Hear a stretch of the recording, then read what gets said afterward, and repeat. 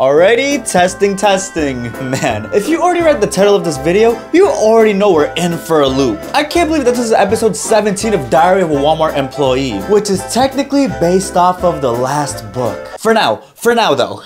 And guys, in case you're worried, Walmart videos are not gonna go anywhere. I can't wait to show you guys what we have planned. But regardless, let's make this episode count. So with that, ladies and gentlemen, welcome to Walmart. I could talk about this job for hours and hours on end and still have so much left to say. And I can already feel the comments. This guy has infinite stories! Walmart or any retail job in particular really puts your social skills to the test. Oh, because the baddest girl would approach you and you have to talk to them. Hey, how much is this? Um, $7 and your number? I mean, your social security? I mean, throughout my time there, my manager was showing me more and more skills in the store. And a big one was talking through the intercom. Here you go, Jorge. Say the store is closing. Um, okay. Attention everyone, the store is closing, so please leave. Um, I can't, I can't do this. yep, I would get way too nervous. I can't imagine the customers' faces when I did this. And that's not the only story I have with the intercom. Cause this one time while I was working, out of nowhere on the speakers, you just hear, Attention Walmart customers, can I get a, oh yeah? Hey, get away from there. Yep, some kids managed to get a hold of the microphone for the intercom.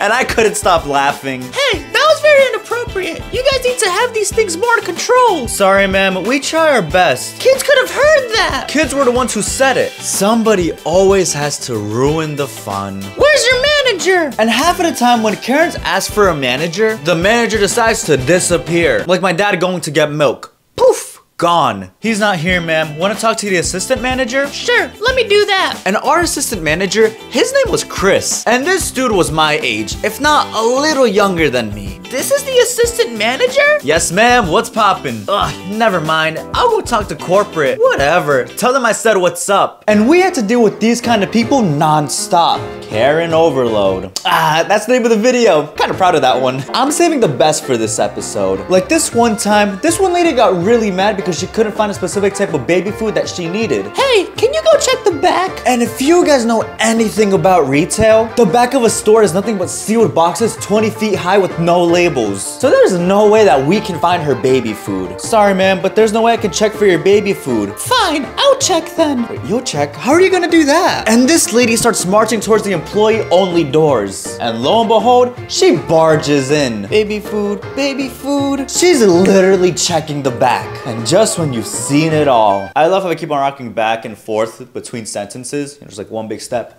talk, another big step, talk. So it's like a dance. Ma'am, you can't be in the back. Don't tell me what to do. This goes on for 15 minutes until my manager has to find security. Hey, don't put your hands on me or I'll scream to the top of my lungs. Then leave, ma'am. Wait till I tell corporate. Corporate does not care about this one bit. Already scene change.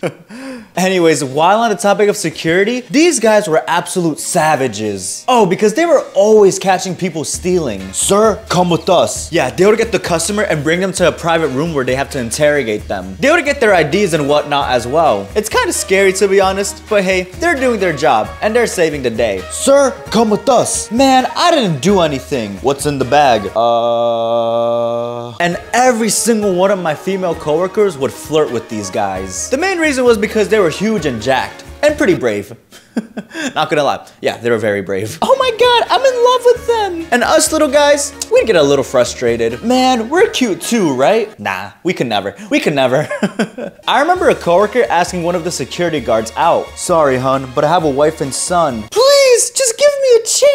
No can do, ma'am. Maybe I can introduce you to my son. He's 18. Wait, so how old are you? 38. Yeah, these guys would always look so good for their age as well. Cause homie honestly looked 25. Y'all, y'all, rate this painting. Y'all like it? Picasso. yeah, but anyways, just when you think I'm done, there's one crazy thing that I just remembered that I can't believe I've never talked about. And ladies and gentlemen, those are console releases. Slide to the left. More specifically, the PS5 release. I remember trying to find one of these bad boys was so impossible, especially when they first came out. And we did not have any on the store shelves. But that did not matter. People would still find a way to ask.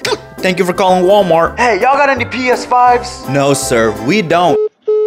Do you hear that garbage truck? I don't know if y'all can. Backing up. Okay, he's done. Yeah, but although we didn't have any PS5s on the sales floor, we actually had a couple pre-ordered that were shipped to the store. And they were chilling in the back, locked inside a private room. Bro, there's like 20 PS5s in there. Dude, this is a gold mine. And when people came to pick up their orders, you bet a whole crowd would form around them when they would leave the store with the box. Bro, how much? Oh, this isn't for sale. I'll give you 500 bucks and my girl. Your girl? Oh, hell nah. And Karens would always find a way to get mad.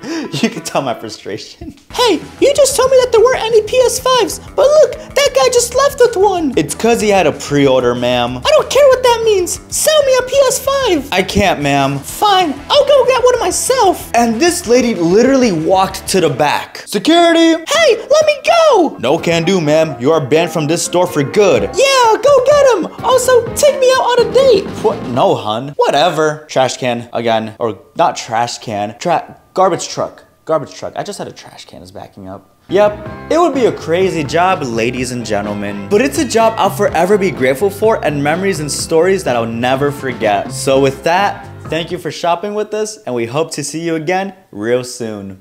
Cling!